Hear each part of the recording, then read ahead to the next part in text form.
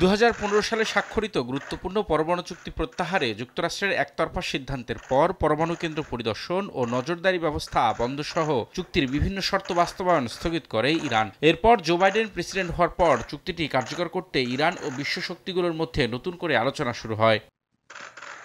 ঐতিহাসিক পরমাণু চুক্তি কার্যকরে আবারও উদ্যোগ নিয়েছে জাতিসংঘের আন্তর্জাতিক পরমাণু শক্তি সংস্থা আইএইএ শনিবার সংস্থাটির প্রধান রাফায়েল গ্রুসি তেহরান সফরে যান। ইরানের পরমাণু কেন্দ্র পরিদর্শনের পাশাপাশি প্রেসিডেন্ট ইব্রাহিম রাইসির সঙ্গে বৈঠক করেন তিনি। ওই বৈঠকের পর নতুন করে নজরদারি ব্যবস্থা ও ক্যামেরা বসানোর বিষয়টি ঘোষণা দেওয়া হয়।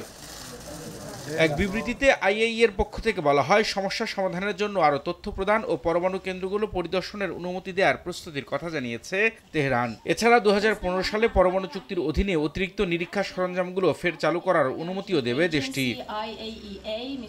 গ্রোসি বলেন যে কোনো পরমাণু স্থাপনায় সামরিক হামলা সম্পূর্ণ বেআইনি। যুক্তরাষ্ট্র ইসরায়েল ইরানের পরমাণু স্থাপনাগুলোতে হামলা করার যে হুমকি দিয়ে আসছে সে ব্যাপারে প্রতিক্রিয়া জানাতেই এ মন্তব্য করেন তিনি।